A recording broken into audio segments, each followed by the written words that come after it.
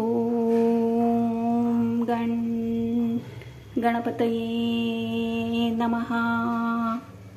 श्री गुरुदेव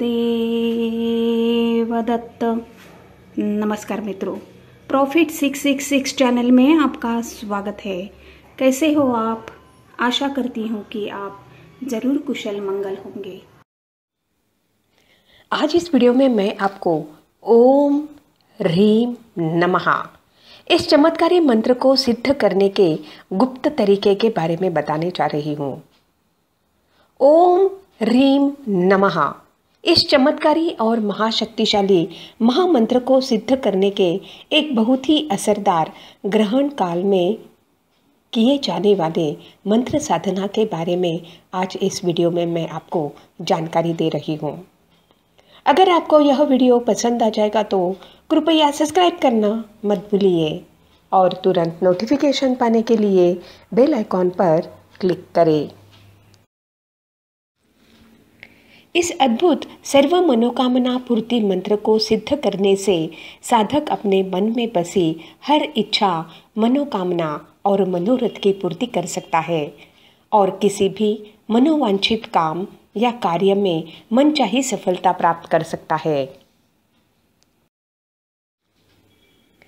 अब मैं आपको पहले ओम रीम नमः, इस बीज मंत्र का अर्थ बताऊँगी। ओम यह ब्रह्मांड की ध्वनि है और रीम यह माया या भुवनेश्वरी देवी का रहस्यमयी बीज मंत्र है। यह मंत्र प्रचंड ऊर्जा उत्पन्न करता है जिससे सब कुछ संभव हो जाता है। यानी कि इस मंत्र में असंभव को संभव करने की क्षमता है। अब मैं आपको इस मंत्र को किस तरीके से सिद्ध करना है, वह आसान तरीके के बारे में बताने जा रही हूँ। इस चमत्कारी मंत्र साधना को किसी भी पूर्ण या आंशिक, चंद्र या सूर्य ग्रहण के काल में सिद्ध किया जा सकता है। साधक ने इस मंत्र को भोजपत्र पर या सफ़ेद रंग के कागज़ के टुकड़े पर अष्टगंध, रक्तचंदन, कुमकुम या केसर की स्याही से एक नुकीले लकड़ी के टुकड़े से लिखना है। उसके बाद उस भोजपत्र या सफ़ेद रंग के कागज़ पर लिखे हुए मंत्र के सामने धूप, अगरबत्ती और दिया प्रज्वलित करके हाथ जोड़कर भक्ति और पूरे श्रद्धा के साथ पूजा करनी है।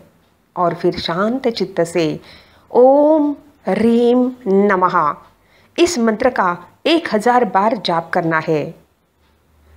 मंत्र जाप की गिनती करने के लिए आप रुद्राक्ष या अन्य किसी भी प्रकार की जाप माला का इस्तेमाल कर सकते हो या काउंटिंग काउंटर का भी इस्तेमाल कर सकते हो। मंत्र जाप पूरा होने के बाद उस मंत्र लिखित भोजपत्र या सफ़ेद रंग के कागज़ को पूजा घर में रखना है। ओम रीम नमः।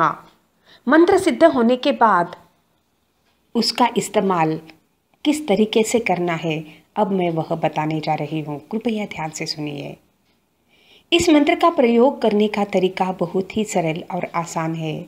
साधक को किसी भी महत्वपूर्ण काम या कार्य या मुलाकात को जाने के पहले या किसी भी नए काम के लिए जाने के पहले इस मंत्र का सिर्फ़ पंद्रह बार जाप करना है।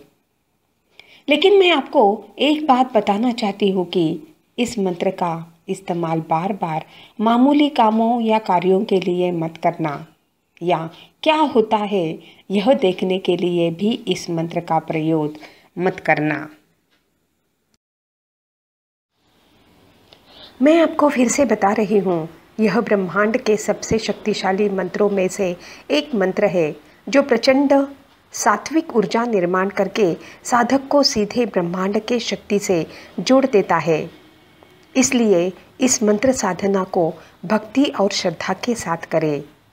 इस वीडियो के हिंदी आर्टिकल की लिंक मैंने डिस्क्रिप्शन बॉक्स में दे दी है।